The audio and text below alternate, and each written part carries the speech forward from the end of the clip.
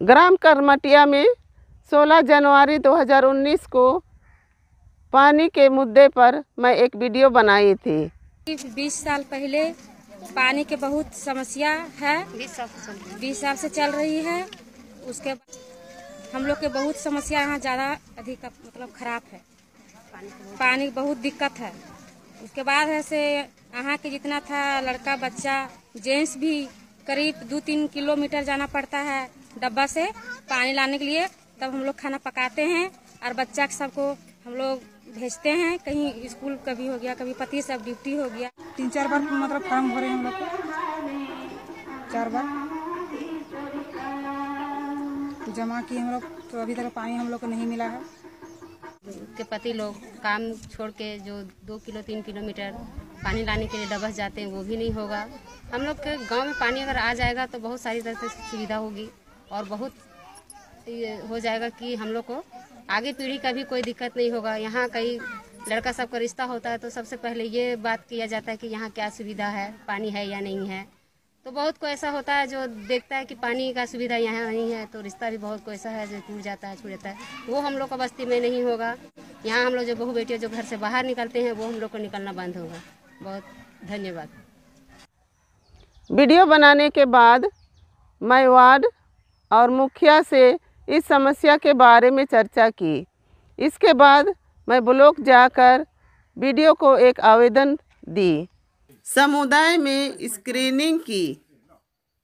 इस तरह से ग्राम करमटिया में पानी की समस्या दूर हो गया।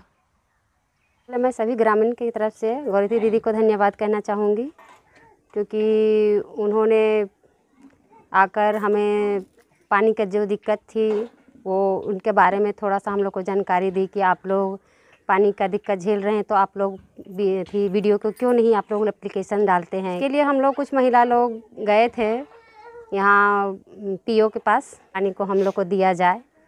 तो उसके लिए हमारे गाँव के जो मुखिया वार्ड है, वो सभी हमारे सहयोग में थे, हमारे ग्रामीण भी हमारे सहयोग में थे कि हमारे गाँव में पानी किसी ना किसी तरह से आ जाए। और वो पानी आ गई, और इसके लिए मैं फिर से धन्यवाद कहूँगी आप लोगों को। इन कभी जो हम लोग नहीं सोचे थे, वो हम लोग का बस्ती में हो गया और पानी भी आ गया।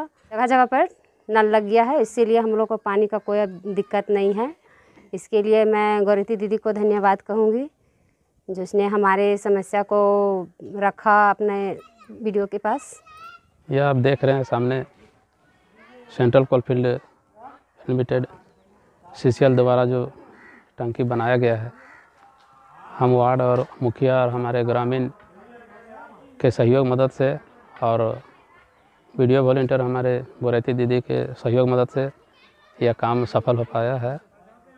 और अभी पानी को भरपूर दिलाने में सहयोग और मदद किए इसके लिए बहुत बहुत धन्यवाद। स्क्रीन पर दिए गए नंबर पर कॉल कर इस अच्छे कार्य के लिए सभी अधिकारियों को धन्यवाद दें।